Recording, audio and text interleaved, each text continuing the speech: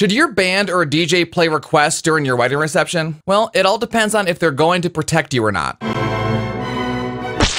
It's kind of a universal truth that if you're an entertainer, a band, a DJ, if you're playing a wedding reception, you're going to get requests. And a lot of people who may be newer to that world think, well, if someone requested a song, I should play it because that means everyone wants to hear it, right? I hope by now we all know that that's not true. And more so than just trying to please the guests who are at the reception and dancing, it's more about, in my opinion, about protecting the bride and groom. And we'll talk more about that here in a second.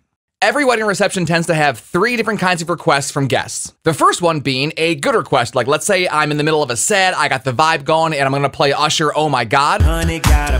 Like pow, pow, pow. But someone wanted to hear Usher, DJ got us falling in love instead. Sure, cool, no problem. I'll play that instead, not a big deal. It already fit the vibe of the dance floor. It's a similar tempo from where I was playing before, so I know it's gonna work, not a big deal. I'll play those requests every single time. The second kind of requests come from people who say that they're really close with the newlyweds and they'd love to hear this song. Now, it's always something like, oh my gosh, I've known the bride since eighth grade in our senior year of high school. We had a dance recital and danced to Perfect Day by Hoku. Can you play it next?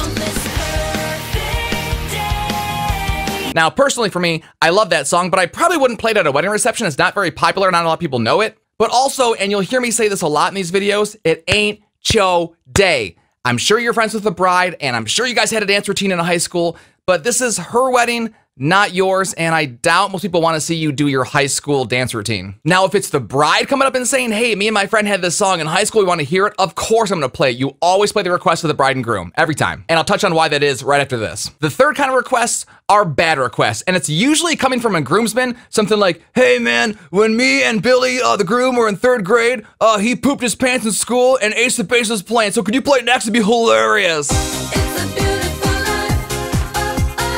No, Chaz, I'm not going to do that because it's going to be embarrassing for the groom. And again, ain't Cho Day. So at the beginning of the video, I was talking about protecting the bride and groom with requests. This is what I mean by that, and this is when it comes up. Every band or DJ at a wedding reception wants to rock the crowd and make it the biggest party ever and fill the dance floor all night, and yeah, that's a big part of it. But more so than that, you have to be sure you're protecting the bride and groom and looking out for their best interests while you're playing your sets. Because as the DJ or the band leader or entertainer, you're kind of the last resort when it comes to yes, playing a request or no, not playing a request. And it's my advice that I would relay this to your band or your DJ. If they get any kind of hint that it's going to be something silly or stupid or even worse, embarrassing to the bride and groom, absolutely don't play it. There's so many times I'm DJing a wedding and I hear somebody request a song and I just know in the back of my head, this isn't going to work. This is going to make the bride or groom look stupid or embarrassed, and then I look stupid, and then it's just a lose, lose, lose for everybody. So whenever I'm playing a wedding and get requests, and I always get a lot of them,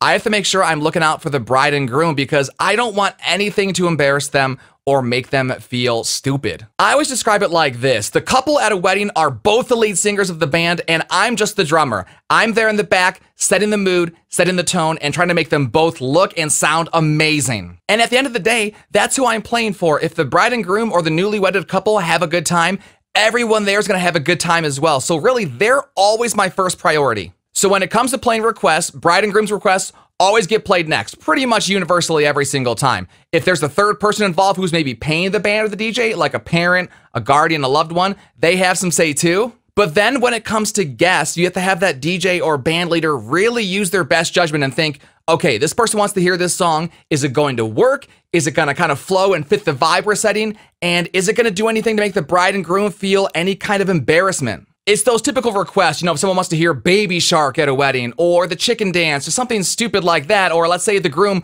went to Michigan State and someone says, hey, can you play the U of M fight song? That'd be so funny.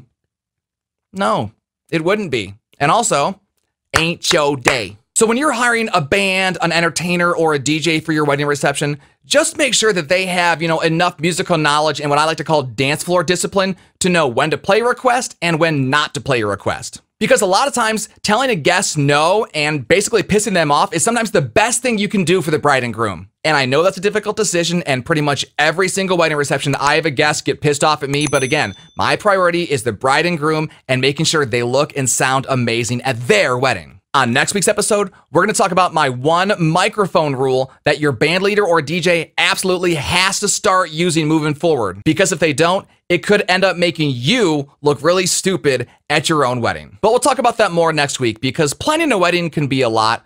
But you shouldn't get stuck on those little details. Just cut the cake.